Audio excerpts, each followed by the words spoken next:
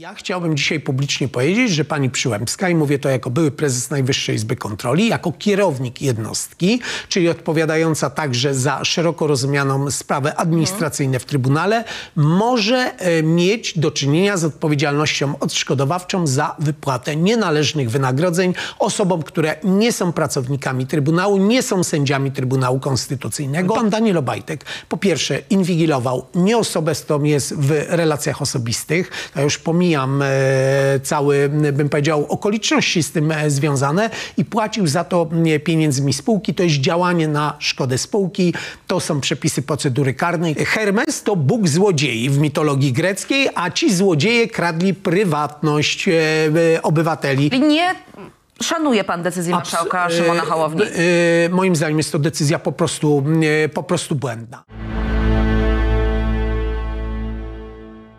Państwa gościem Krzysztof Kwiatkowski, senator Koalicji Obywatelskiej, były minister sprawiedliwości, były prezes Najwyższej Izby Kontroli. Dzień dobry. Witam panią redaktor, witam wszystkich, Panie którzy senatorze, nas oglądają. e, pani Julia Przyłębska e, nie poważa uchwały przyjętej przez Sejm w sprawie przywracania porządku i praworządności w Trybunale Konstytucyjnym. Twierdzi, że to jest uchwała, e, która jest skandaliczna, która łamie konstytucję, która podważa mm, możliwość e, pełnienia mandatów przez legalnie i dobrze, zgodnie z prawem wybranych sędziów. Staje też e, sama we własnej sprawie i obronie. Mówi, że mm, jej sposób powołania także był prawidłowy. W związku z tym jest to zamach na e, polską demokrację, na polską praworządność, na polską ustawę zasadniczą. To? Julii Przyłębskiej przypominam starą rzymską paremię, której każdy prawnik uczy się na pierwszym roku studiów. Nikt nie może być sędzią we własnej sprawie. Więc e, rekomendowałbym większą powściągliwość e, w ocenie, że powołanie wszystkich członków Trybunału było prawidłowe, a jej kadencja się nie skończyła. Jej kadencja się skończyła nawet w ocenie jej kolegów e, z Trybunału Konstytucyjnego, tych powołanych głosami Prawa i Sprawiedliwości. Rekomenduję to na przykład z wypowiedzi pana Muszyńskiego, m, jednego z członków, e, bo nie sędziów, e, bo to sędzia dubler e, Trybunału Konstytucyjnego. Zaś co do prawidłowości tej obsady, to brak prawidłowości. To, że powołano członków Trybunału na miejsca prawidłowo już obsadzone, o tym stanowi wyrok Trybunału Konstytucyjnego jeszcze w starej, dobrej obsadzie, uchwała Sądu Najwyższego, wyrok Trybunału Sprawiedliwości Unii Europejskiej czy Europejskiego Trybunału Praw Człowieka. Ja wiem, że ilość tych dokumentów jest tak liczna, że pani Julia Przyłębska mogła nie mieć czasu, żeby się z nimi zapoznać. No ale nie przemęcza się Trybunał jakoś e, przez ostatnie miesiące, więc może miała czas, żeby Wieloma długimi tygodniami Trybunał nie robi nic, poza tym, że pani No Przyłębska... nie, orzeka w sprawach indywidualnych polityków e, Prawa i jednoosobowych zabezpieczeń, których w tym trybie nie, nie może wydawać. Przypominam, my tym osobom w Trybunale Konstytucyjnym płacimy. E, zwykłym członkom e, ponad 30 tysięcy, pani Przyłębska chyba ma wynagrodzenie pod 40 tysięcy miesięcznie.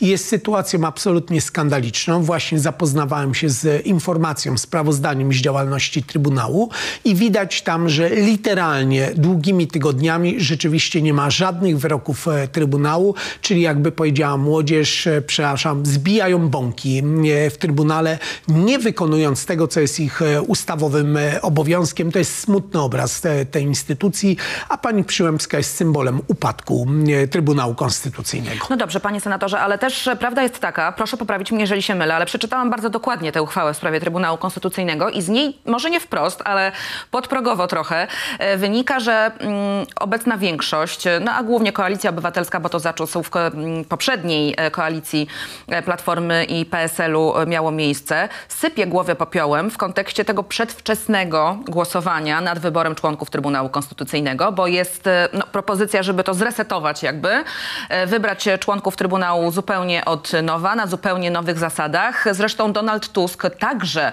czas jakiś temu, to chyba jeszcze była kampania, powiedział, że to była bardzo zła decyzja i że tak naprawdę, no właśnie, rację mają ci, którzy stwierdzili, że od tego zaczęło się psucie Trybunału Konstytucyjnego.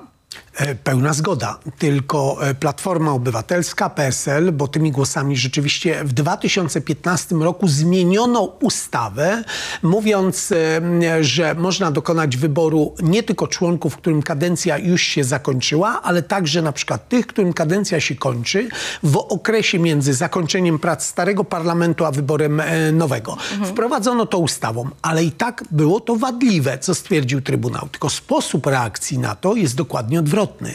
Platforma e, i PSL powiedział, tak, popełniliśmy błąd, przyznajemy się, e, mamy wyrok Trybunału Konstytucyjnego, który mówi, że tej dwójki nie powinniśmy wybrać. A co robi Prawo i Sprawiedliwość?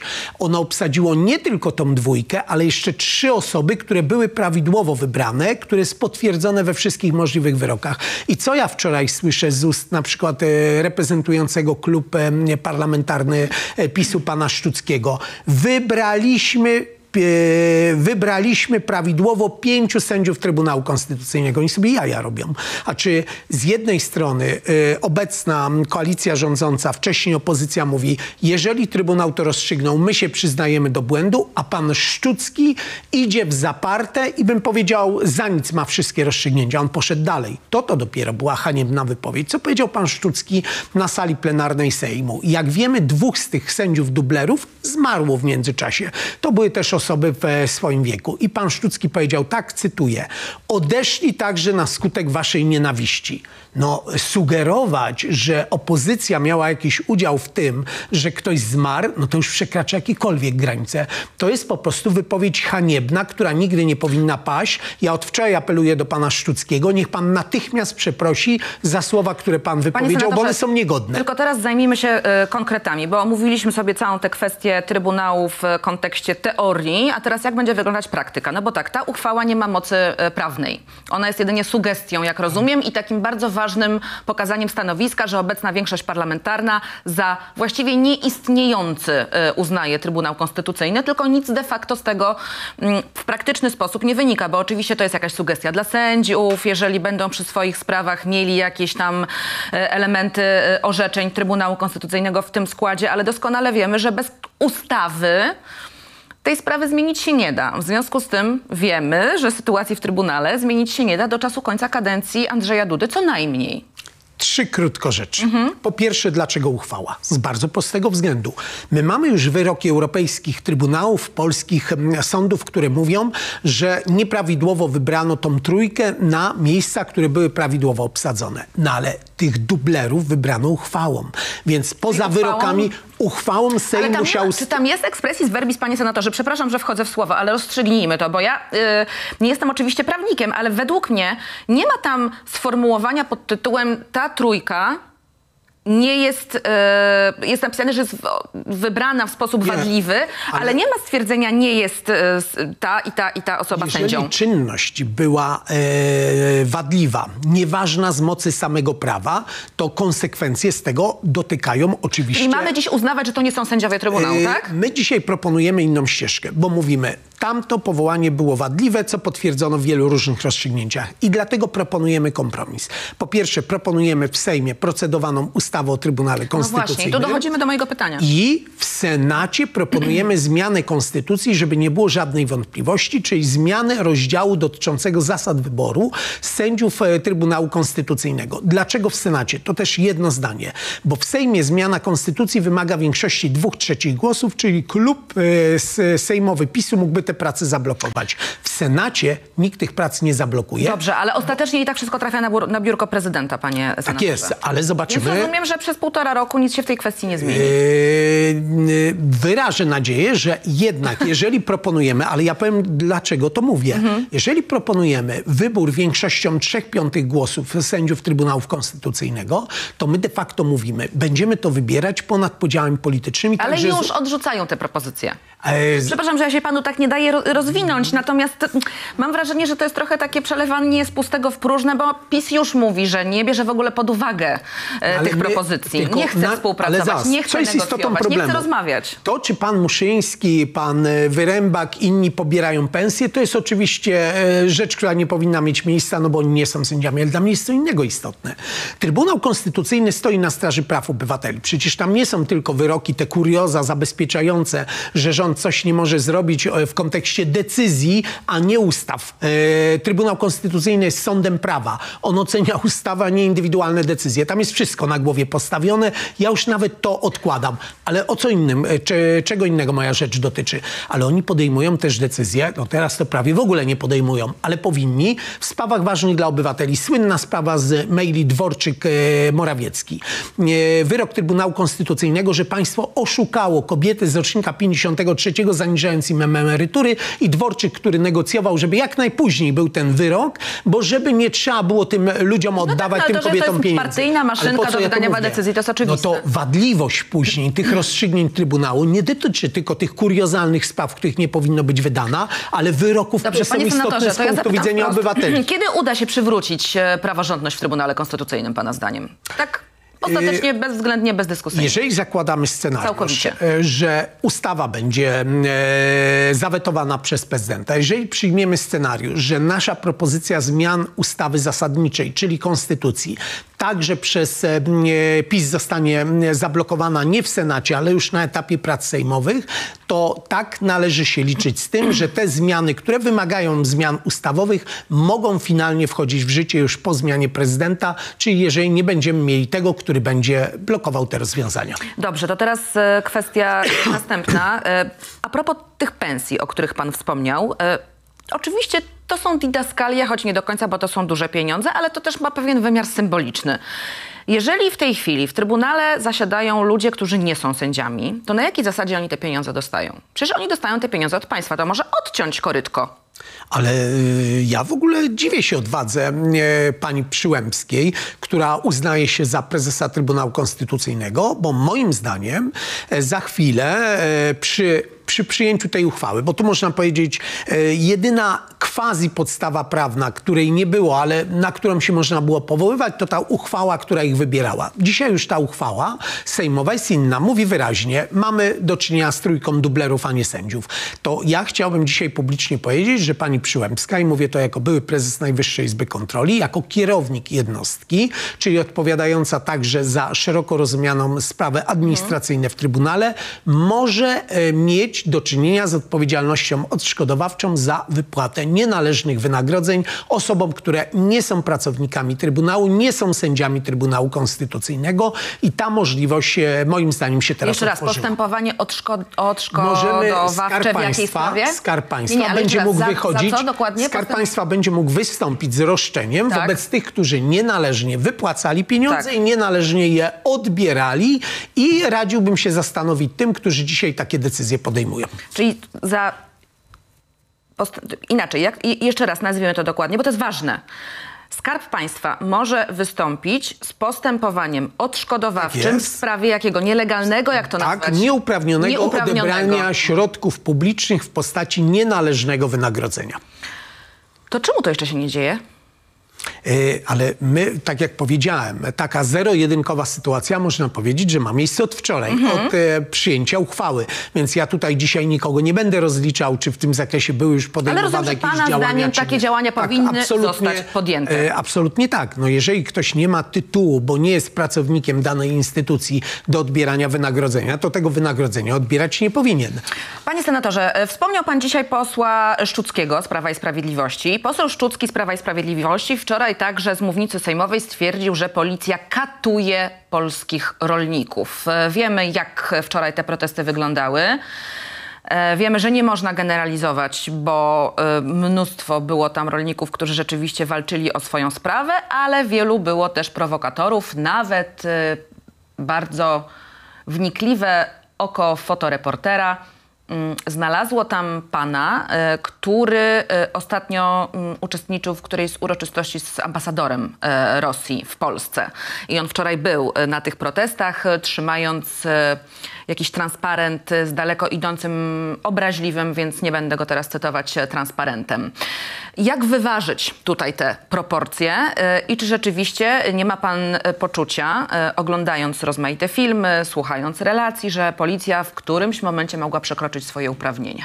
Znaczy, ja zacznę od tego, że rolnicy mają prawo mm, do protestów. Opłacalność produkcji rolnej spadła. Efektem wspólnej polityki rolnej, o której nominat PiSu, komisarz do spraw rolnictwa Unii Europejskiej Janusz Wojciechowski mówił, to przepisany program rolny PiSu. Komisja Europejska przyjęła program Prawa i Sprawiedliwości. On uderzył w interesy rolników nie tylko w Polsce, ale w całej Unii e, Europejskiej. Jeżeli dbamy o bezpieczeństwo surowcowe, to także powinniśmy dbać o bezpieczeństwo żywnościowe. Jak okazuje się, katem polskich rolników było Prawo e, i Sprawiedliwość. A teraz odnośnie wczorajszych sytuacji. Każda powinna zostać e, wyjaśniona. Tylko jak ja słyszę fałszywą, obłudną troskę pana Sztuckiego o katowanie kogoś, no to przypominam, że wczorajsze wydarzenia miały różne odsłony. Także lecącą w stronę policjantów. Kostkę brukową, butelki, elementy infrastruktury drogowej, race i petardy. Za to Drzewcem z flagi panowie wydłubywali kostkę brukową po Tak to, żeby jest. rzucać e, nią w funkcjonariuszy i to jest na wielu filmach. Przypominam także o całej grupie policjantów, z tym jeden, którego e, to zaopiekowanie medyczne było dosyć poważne. No, kilku policjantów E, jest w Kilku szpitalu. policjantów jest e, w szpitalu, z tym jeden, z tego co wiemy, ten stan dobrze, był ale- Tak. poważniejszy. Ja tylko jedno zdanie. A ja najbardziej to pamiętam, jak kobiety, które nie miały butelek, rac, e, kostki brukowej, były bite pałką No właśnie. teleskopową. Może jakby miały, to by się inaczej do nich podchodziło, ale o tym za chwilę. I używano gazu strzelając E. im prosto w, w oczy e, z bezpośredniej bliskości i to także wobec e, kobiet, wobec posłanek, ale wobec innych No dobrze, panie senatorze, ale bądźmy uczciwi. E, I są też, sprawdziłam to, filmy w internecie, jest ich znacznie mniej, ale widziałam jeden film, na którym funkcjonariusz policji podnosi rzuconą wcześniej kostkę brukową i e, rzuca e, nią w tłum rolników. Widziałam taki film. E, no i jest też film, który podobno ma jakieś e, bardzo dużo odtworzeń w internecie, który pokazuje, że policjanci gdzieś tam całkiem spokojnego młodego rolnika wyciągają, wrzucają gdzieś tam w kordon własny i rzucają na ziemię. Były też tego typu sytuacje, było ich znacznie mniej, ale rozumiem, że to jest po prostu kwestia do weryfikacji i wyciągnięcia konsekwencji dyscyplinarnych sytuacji- w, wobec funkcjonariuszy. Każda z tych sytuacji absolutnie powinna, powinna być wyjaśniona e, e, z obu stron, E, bo mamy także ponad 20 osób e, ujętych, gdzie policja twierdzi, że to byli ci prowokatorzy, którzy rzucali różnymi przedmiotami. Ja ten film oczywiście z zatrzymaniem e, tej osoby, która miała e, flagę e, biało-czerwoną, widziałem. Tylko ten film pokazuje sam moment zatrzymania. I ja też nie wiem, bo dana osoba mogła coś robić przed samym zatrzymaniem. Dlatego uważam, że wszystkie te sytuacje powinny zostać wyjaśnione i tym się różnimy, że ja nie będę bronił wszystkich działań policji. Ja mogę je bronić do, dopiero od momentu, kiedy zostanie to wyjaśnione. e, Marcina Kierwińskiego. Szkoda, że nie domagali się dymisji ministrów spraw wewnętrznych, kiedy bito kobiety. Szkoda, że nie doprowadzono do dymisji komendanta głównego policji, gdy strzelał z granatnika i przebijał stropy e, i sufity i podłogi w komendzie głównej e, policji i stanowił zagrożenie dla życia i zdrowia. wysyłano na pikniki partyjne. No można by to było wymieniać, ale dobrze. powiedział. E, Więc dzisiaj twierdzenie, że e, my będziemy rozliczać innych kiepsko brzmi w kontekście tak zwanego dorobku rządów Prawa i Panie Sprawiedliwości. senatorze, a zastanawiał, zastanawiał pan się nad tym, co się wydarzyło od ubiegłego tygodnia, że tak na sile agresji e, i hałasie te protesty przybrały. Bo przecież pamiętamy w ubiegłym tygodniu, kiedy te ciągniki nawet znalazły się w Warszawie, że było spokojnie. Oczywiście gdzieś tam, no wiadomo, że były wowuzele, wiadomo, że było jakieś tam palenie opon, no, ale taka jest e, niestety, ja tego nie akceptuję, ale nie o moją akceptację chodzi, logika protestów, nie tylko rolniczych. Ale było spokojnie. Minęło kilka dni i zrobiła się totalna burda na ulicach stolicy. Ja widziałam naprawdę przerażonych e, mieszkańców, przerażonych warszawiaków, którzy właściwie nie wiedzieli, w którą stronę się udać, żeby nic im się nie wydarzyło. Tak być nie powinno. Co się stało przez tych kilka dni? Ma pan koncepcję? Moim zdaniem e, poprzedni protest to byli e, rolnicy, a dzisiaj, umownie mówiąc, były różne grupy wspierające protest. I ja mam nieodparte wrażenie, policja zresztą będzie dokonywać weryfikacji tej grupy osób zatrzymanych i my moim zdaniem za chwilę się dowiemy, ile w tej grupie zatrzymanych było rolników, a ile było tak zwanych grup wspierających. Przypomina pan sobie, ja oczywiście niczego nie sugeruję, tylko no to takie są fakty. Jak pan Piotr Duda kilka dni temu powiedział, wchodzimy te, w te protesty na twardo. Przy poprzednich y, pana Dudy nie było. Ale pan e, Piotr Duda zniknął na 8 lat rządów Prawa i Sprawiedliwości. On tylko podpisywał różne porozumienia e, z rządem, a wielu działaczy e, Solidarności odnajdywało się w różnych dziwnych miejscach, ale delikatnie mówiąc takich, w, których można było korzystać z dobrych kontaktów z władzą. To smutne, bo oczywiście Związek Zawodowy ma reprezentować pracowników niezależnie od tego, kto rządzi, a ja mam nieodparte wrażenie, że Solidarność czuje się związana e, z prawem i sprawiedliwością, a coraz mniej z interesami pracowniczymi. Bym powiedział, e, to jest sytuacja oczywiście smutna, ale to jest do oceny samych związkowców. Premier Donald Tusk mówi, z chuliganami rozmawiać nie będę, będę rozmawiać z rolnikami. O godzinie 10 w sobotę jest spotkanie. E, No i pan premier dziś powiedział, że prawdopodobnie będzie miał dobre informacje w sprawie zmian w Zielonym Ładzie i apeluje jednocześnie do komisarza Wojciechowskiego, żeby niczego nie zepsuł. Myśli pan, że pan Wojciechowski jakąś krecią robotę próbuje tam wykonywać w Brukseli? Znaczy pan Wojciechowski krecią robotę to zrobił. No, sam się tym pochwalił, że to przeciwko dzisiaj e, czemu protestują rolnicy. Wspólna polityka rolna, zielony ład w obszarze rolnictwa. To jest jego efekt. On to z dumą ogłaszał, e, wypisywał na Twitterze, mówił, że to jego osobisty sukces i sukces Prawa i Sprawiedliwości. Dzisiaj mam nieodparte wrażenie, że próbuje o tym zapomnieć, a prezes Kaczyński, jak wiemy, nawoływał go e, do złożenia rezygnacji, wypominając mu przeszłość e, jeszcze w ZSL-u przed rokiem 89. To skądinąd też jest paradoks, bo jeżeli tak prezes e, Kaczyński rozlicza swoich nominatów, to może wezwie pana Piotrowicza, byłego członka Polskiej Zjednoczonej Partii Robotniczej i prokuratora stanu wojennego, żeby zrezygnował z funkcji tak zwanego sędziego Trybunału e, Konstytucyjnego. E, Panie senatorze, kończąc temat e, rolników, uważa pan, że premierowi Donaldowi Tuskowi uda się jakoś rozbroić tę sytuację, jakoś ją rozwiązać, biorąc pod uwagę, że no, mówimy też w dużej części, sam pan o tym mm, wspomniał, o prowokacjach. To prowokacje mogą się pojawiać nawet, jeżeli pojawią się pewne rozwiązania, e, których rolnicy sobie życzyli. Nie Ale- boi się pan, że tu będzie jakiś taki chaos i taka permanentna destabilizacja? Czyli ja zakładam, e, zresztą te zapowiedzi na to wskazują, że rzeczywiście Komisja Europejska podejmie decyzje, które będą korzystne dla rolników w ogóle w całej Unii Europejskiej, ale także dla polskich rolników. Polski eksport żywności to jest bardzo ważna e, nasza pozycja eksportowa i duży udział e, w PKB. Decyzje tutaj lepiej podejmować na poziomie całej Komisji Europejskiej. Dlaczego? My często o tym zapominamy. Nawet w relacjach z Ukrainą my mamy ogromną nadwyżkę e, e, w eksporcie w stosunku do importu. No mówiąc wprost, więcej na tych relacjach zarabiamy. I jeszcze jedna ważna rzecz. Ja wczoraj miałem spotkanie z przedstawicielami e, polskich spółdzielni, ruchu spółdzielczego. Oni reprezentują też polskie mleczarnie i oni powiedzieli wprost, my mamy całą grupę mleczarni, które jeżeli eksportują bardzo dużo swojego towaru, artykułów mlecznych, jego przetworów na Ukrainę i że jeżeli Polska wprowadzi decyzję jednostronną i Ukraina zamknie swoją granicę, to jest grupa polskich mleczarni, która będzie w bardzo trudnej sytuacji, może nawet upaść. Dlatego ja wolę decyzję e, Komisji Europejskiej, bo my wtedy jako państwo polskie nie narażamy się na retorsję, bo wtedy to nie jest decyzja tylko Polski, tylko całej Unii Europejskiej i liczę na to, że Donald Tusk oczywiście, że swoimi kontaktami, znajomościami, umiejętnością poruszania się po rzeczywistości e, brukselskiej e, uda mu się doprowadzić do korzystnej decyzji. Przyspieszamy, panie senatorze, bo jeszcze kilka tematów przed nami, a czas się kurczy nieubłaganie.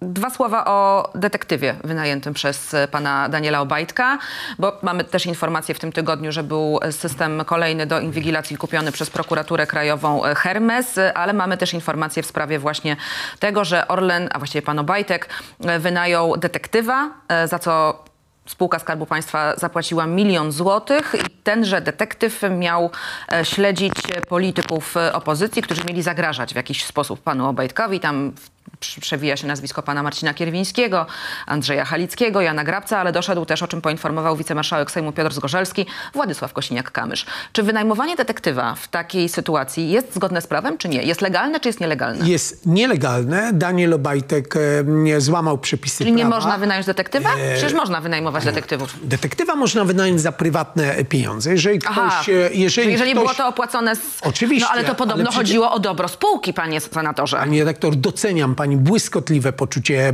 e, humoru. E, Dobro spółki w postaci inwigilowania polityków, no bądźmy poważni. Tak, Daniel Obajtek będzie ponosił z tego tytułu odpowiedzialność e, karną.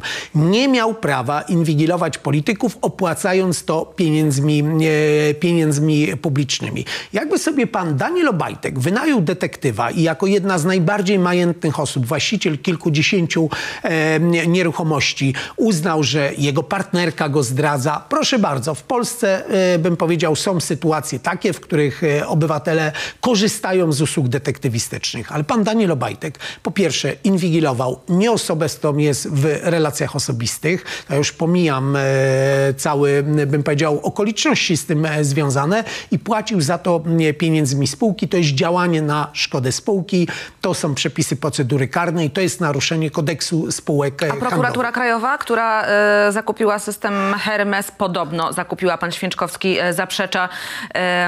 Prokuratura, która jak rozumiem nie ma prawa prowadzić działań operacyjnych. Panie doktor, ja już trochę się boję, bo używam słowo skandal, afera, e, rzecz niedopuszczalna. Mi się e, kończy katalog Skandal, słów. szok i niedowierzanie, tak to się mówi. Bardzo gorąco dziękuję. Prokuratura nie ma prawa nikogo inwigilować. Prokuratura, jeżeli prowadzi czynności, pod jej nadzorem są prowadzone, to ona zleca takie czynności policji albo służbom specjalnym. W Polsce mamy, ola Boga, 11 służb, które mogą korzystać z metod inwigilacyjnych. Absolutnie e, za dużo. I co się okazało? Prokuratura stwierdziła, że jeszcze na własne potrzeby kupi sobie taki prywatny systemik Cała do, mitologia do zaraz będzie do tutaj. sz- Mamy już do przecież szpiegowania. Pegasus, Hermes. A bym powiedział, jak wyszła ta sprawa, bo jak pan Święczkowski mówi, że to nieprawda, a wyszła w bardzo prosty sposób, bo rachunek przysłano do prokuratury abonament. krajowej za abonament, bo zakupiono ten system do szpiegowania, ale jeszcze trzeba opłacać miesięczny abonament. A jakie były koszty jego obsługi? Pan Piotr K., który pracował e, w prokuraturze, bo nie był e, prokuratorem i obsługiwał ten system, zarabiał 1000 zł za godzinę obsługi e, tego systemu. Z tego tytułu również, przepraszam, że się powtórzę, osoby, które zakupiły ten system, osoby, które podejmowały decyzję o jego wykorzystaniu, będą ponosić Czyli odpowiedzialność. sprawa prokury do prokuratury. Tak jest. Sprawa Hermesa w prokuraturze Sprawa Hermesa do- do, do prokuratury. Ale dokładnie tak. jedna rzecz, doceniam poczucie e, humoru. Hermes to bóg złodziei w mitologii greckiej, a ci złodzieje kradli prywatność e, e, obywateli, ich prawa i wolności obywatelskie, więc nazwa Hermes dla tej operacji jest absolutnie adekwatna. Panie senatorze, jest pan e, zaniepokojony sytuacją w koalicji rządzącej?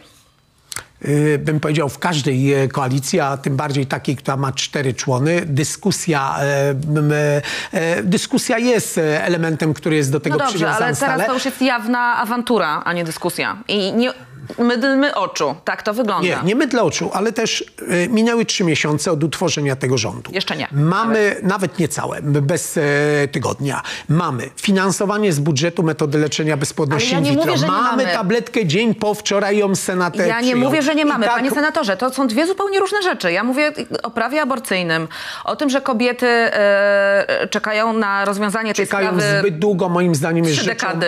e, niedopuszczalną to, co się w tym za, zakresie dzieje. Dziękuję, czyli nie szanuje pan decyzji marszałka Abs- Szymona e, Hołowni. e, Moim zdaniem jest to decyzja po prostu, e, po prostu błędna. E, Do czego, bo o czym my mówimy? My mówimy o przepisach, które się zmieniły pod wpływem drakońskiego wyroku Trybunału Konstytucyjnego. No ja nie zapominam tragedii pani Izabeli z Pszczyny i kilka jeszcze udokumentowanych przykładów, że praktyka rozumienia tych przepisów doprowadziła do tego, do że czekano argument- na obumarcie płodu i doprowadzono do tego, że zmarła kobieta, zmarła matka. No to jest sytuacja absolutnie nie do przyjęcia. Czyli nie przekonuje pana argument, że e, pan Szymon e, Hołownia e, wykazuje się daleko idącą polityczną odpowiedzialnością. Jako ojciec parlamentu e, dba o to, żeby sprawy kobiet e, nie były wykorzystywane do walki politycznej i dba o to, aby rzeczywiście sprawy kobiet zostały załatwione. To pana zdaniem nie jest argumentacja trafna. Yy, nie, bo uważam, że w tej sprawie my nie możemy czekać. Proszę bardzo, w ramach kompromisu mamy deklarację liderów. To bym powiedział jeden efekt pozytywny po tej wymianie argumentów, że niech będą skierowane wszystkie projekty do komisji. Ja mam nadzieję, że. Ale pan marszałek mówi, że obawia się, że były odrzucone. Nie podzielam argumentacji e, pana marszałka.